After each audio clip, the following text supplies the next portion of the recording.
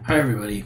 Um, today, I just want to discuss a little bit about Brazil um, and primarily look at the economy, um, but also just look at overall what's going on um, in this amazing country.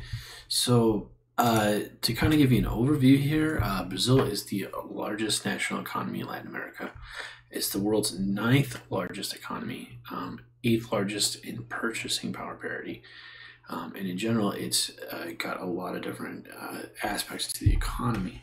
Um, but I wanted to start with this map to kind of see, you know, what we could see about uh, just basically what Brazil looks like, um, and kind of see um, kind of how that relates to the Earth in particular. Um, so most of the climate of Brazil, um, if you look at North America and compare it to North America or Europe or Africa, um, basically it's a lot like Florida or southern United States. Um, so basically, this is the southern part of Brazil here, right? Um, and then even heading into Argentina. So, um, but up in here, it gets really wet. Um, of course, it's the jungle, and uh, you know that's big part of the jungle there. So it's even bigger jungle than say in Africa. Um, but by quite a bit, maybe three times larger. So, um, and then when you include this part, this is a lot like climate of Florida. So, um, but basically, the equator runs right through here, um, and you basically have um, a lot of rain and uh, turbulent weather um, as a result. Um, so, um, but in general, this is what the climate looks like. Now, on top of this, if you, if you phase out the climate, you can kind of see where the population is in these white areas of South America. So, actually, most people live in this northern part of South America up here in in say Colombia uh, and uh, Venezuela, um, but there are a lot of people that also live in Brazil as well. So basically, you can see the population distribution here. So here's kind of another population density map that I like. It's a 2D, 2D map, and you can kind of see. Um, so up here, there's not a whole lot of people in Brazil, but basically, basically along the coast, there is. That's where most people live um, in South America. Um, not a lot of people live in the internal part of South America. So, unlike the United States, where we see a lot of people living in the internal part of the United States, it's just not the same in South America at all. Um, and you can even kind of compare that to Europe and Africa. It's one of the least populated places in the center part. It's almost like a desert in terms of people, but you can see other areas kind of compare. So maybe a little bit like rural Russia or something like that. Um, so not a whole lot of people, but when I look at Street View, you'd be really surprised. There's is quite a lot uh, going on here. So, um, but I'll just zoom in so you can kind of see what the population looks like in Rio and Sao Paulo. So these are the three main cities I would say uh, that you should know about in Brazil, um, as well as a lot of these coastal cities up along here. But at least in here, um, in this area, you can kind of see what's going on so I thought this was kind of a funny picture to look at. looks like the Portuguese are on the 1500s, just arriving uh, with their boats in the background here, and you can kind of see uh, they got their little rowboat pulling up, and then here's like the local native people. Um, so obviously, coming from colder weather climate, um, like Portugal, not super cold, but they're wearing a lot of clothes and not so wearing wearing so many clothes, and kind of just looking at them and kind of looking at each other and be pretty funny little meeting here.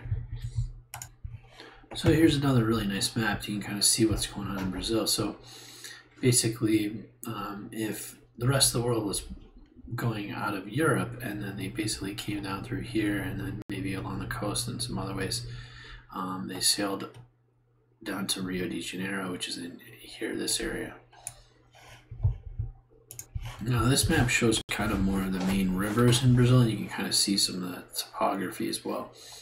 So I really like it because it shows all these vines of the Amazon. Not that you'd go up there, but particularly in here, you can start to see what's going on with this main river here, San Francisco, um, kind of bending around and curving in. So you can see Belo Horizonte kind of being a major part of that, or maybe even up in here. So there's some lakes, high mountain lakes and this goes back into uh, some other places which we had out in Argentina, actually. So quite a lot of uh, different ideas. So you can see even this Sao Paulo kind of even heading out here through uh, maybe down into Argentina as well. So, um, so basically, the mountain ranges is kind of tricky here to understand, but there's basically kind of a culvert area. This whole area here drains in and is almost as quite significant uh, compared to even the Amazon. So this Ar- Argentinian river is quite big here, but it's not really part of Brazil. So on this map, you can't really see it, but you can kind of see some of the drainage, um, maybe from a more simplified perspective, but also detailed in some ways. So you can kind of see that this area here, but then you can see that the mountain range is in here. So Argentina actually being quite flat, except for the coastline off into Chile. Um, and I did try to travel over to Chile. It was difficult to get there. Um, but it got really fun and interesting once you got basically into the hills here. Um, but anyway, so there's a lot of mountains. Not these aren't really mountains. I'd say more like hills. Um, and you can compare that to the United States, you can see it's kind of got some pretty good sized hills on, on the coastline here, but not nearly as high as these guys over here. So I'm going to jump right into the economy here. So I took the Brazilian real, which is basically about five to one, um, or four and a half to one. Um, and you can see this is kind of a live map uh, showing the price is, and I put some different markers here along the history, kind of see. But right now is kind of an important time in Brazil because they're actually gaining quite a lot of value in the currency, uh, going from even five or even six to one um, down to uh, about five to one or four and a half to one.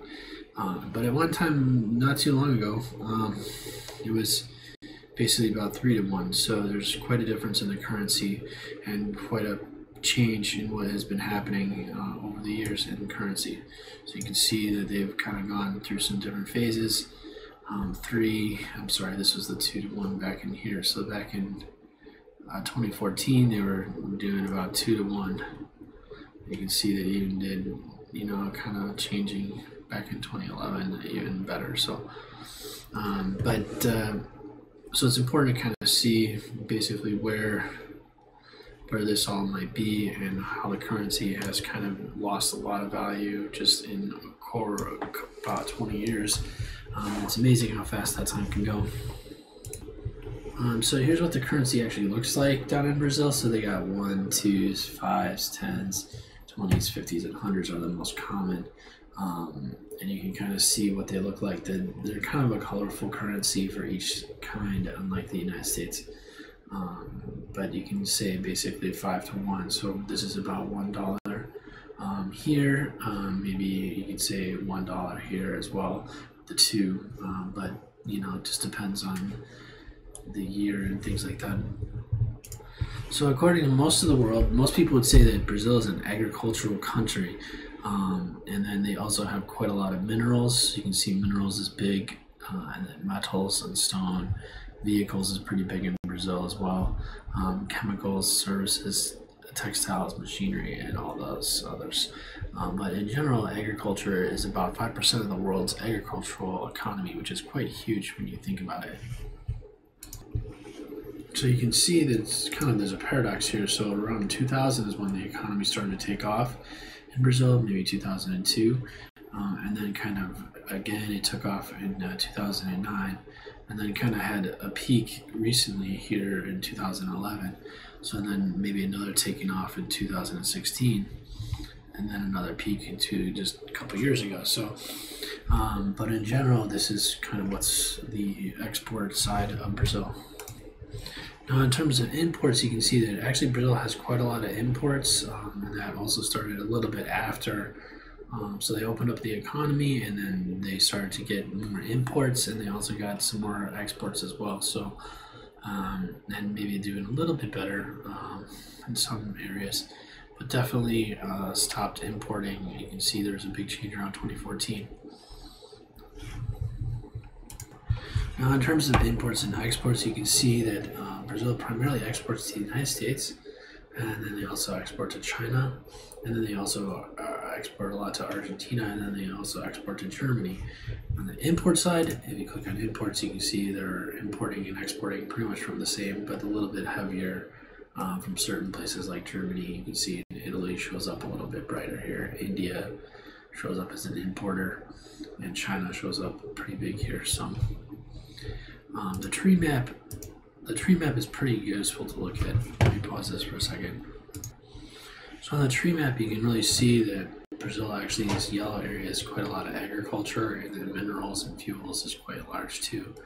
Uh, chemicals, vehicles being big. Um, you kind of break it down into different tourism being pretty large part, and so on and so.